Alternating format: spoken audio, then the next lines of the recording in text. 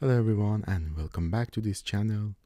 My name is Nima and in this video I'm going to show you how to connect your microphone with XLR cable to uh, Focusrite Scarlett 2i2 or any other Focusrite Scarlett products. Um, it's easy but you have to be very very careful because if you make a mistake, you can um, destroy your microphone, your headphone, uh, the computer that is connected, and also the Focusrite Scarlett itself. So let's begin.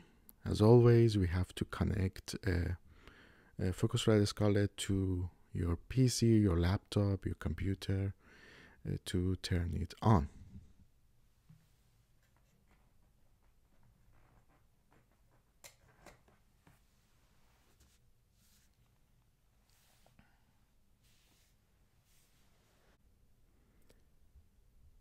Well, as you can see, there is a input for line or XLR. There is a volume or gain and this is the bottom that I forgot to turn off last time I used Focusrite. It's not dangerous, but it was good if I could remember to turn it off.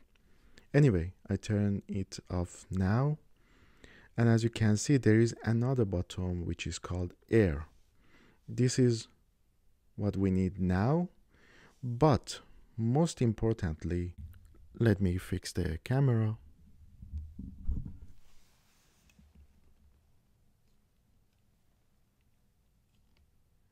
This button here, um, 48V, which is called phantom power.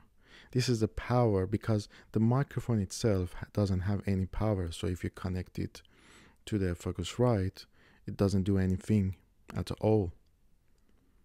But you have to be very careful about that. You need to remember every single time that you must connect your cable, XLR cable, to Focusrite Scarlett 2i2. Then push this button. And when you are done with your recording, you have to turn it off and then um, disconnect the cable from Focusrite Scarlett 2i2.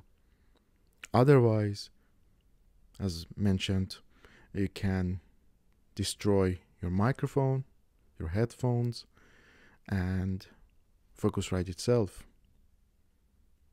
because all of these things are connected. So right now I'm going to show you how you connect your microphone and then we we will hear the difference between uh, Blue Yeti microphone that I use now for voiceover and Rode NT1A.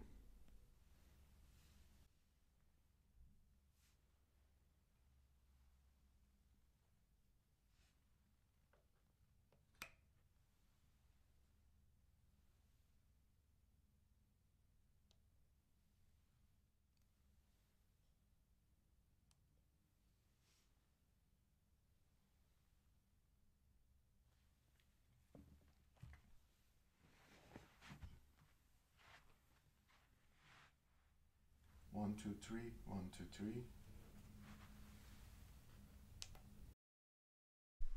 One, two, three. One, two, three. Now I can hear myself, and I believe you can hear me now.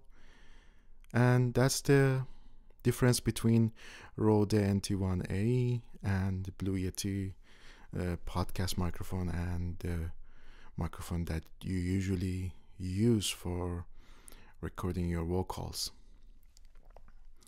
I already have some experience with it. Uh, it's warmer and it just take your vocal, your sound, when you standing right in front of the microphone. Right now you cannot see me, but if I go away a little bit, then you're not able to hear me. Or maybe you hear me very, very low. So I have to stay right in front of the microphone. So I hope you enjoy watching this uh, video. Please smash the like button, subscribe to the channel and share this video with your friends. At the end of this video I'm going to show you how to disconnect your XLR cable in a safe mode. See you next time.